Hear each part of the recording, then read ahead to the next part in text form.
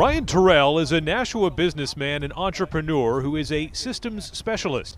Governor Chris Sununu nominated him to the State Board of Education last month. I've been living in New Hampshire for almost a decade now. I love New Hampshire. New Hampshire has wrapped its arm around me and called me one of its own since I've gotten here. Today, the Executive Council rejected his nomination on a 3 2 party line vote, with Democrats standing in opposition.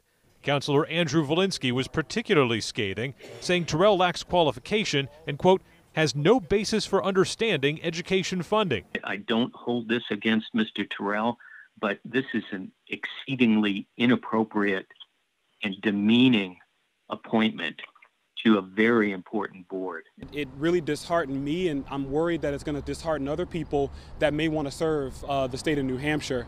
Um, to hear that I was considered to be, um, that it was demeaning to be nominated for the position, it really takes the wind out of your sails. Volinsky, a longtime progressive whose specialty is education policy and challenging the governor's nominations, says this absolutely is not about race. We need people with experience to take these important positions. And as nice a guy as Ryan is, he doesn't have any experience. Councilor Volinsky also accused Governor Sununu of, quote, tokenism in putting forward Terrell's nomination.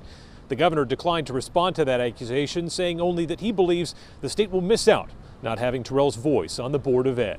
They're not looking at the full spectrum of who I am. They're looking at um, very particular sections that I'm lacking to be able to perform on the board, but they're not acknowledging the other diverse experiences of skill set and diversity of experience that I have to bring to the board. In Concord, Adam Saxton, WMUR, News 9.